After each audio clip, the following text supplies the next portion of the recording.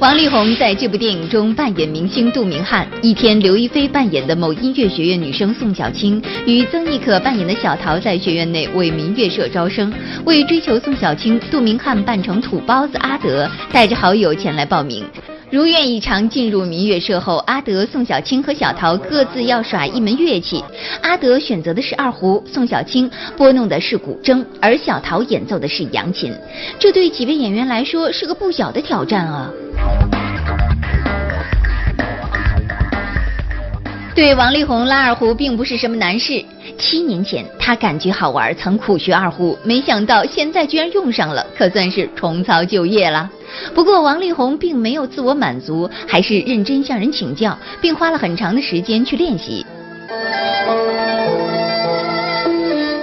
拍摄中，王力宏指法娴熟，拉得像模像样。他时而坐下来表演，时而站起身当导演指导，瞬间转换身份，相当自如。Two, three.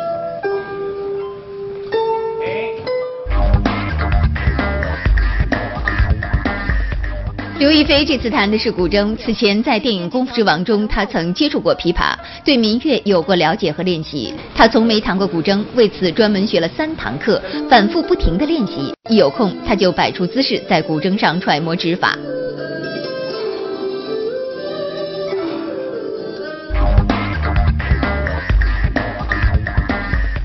曾轶可这回不仅是第一次触电拍电影，还是第一次真正认认真真学民乐。为此，她上了几天扬琴课，练习了一些简单的指法和乐曲。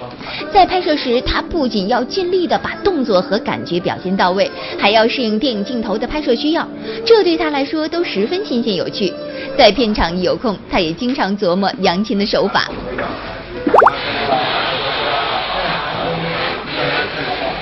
王力宏、刘亦菲、曾轶可和另一位演员扮演的民乐社成员，一起在台上上演了精彩的民乐四重奏。他们这场表演的水平到底如何？您还是到影院去欣赏吧。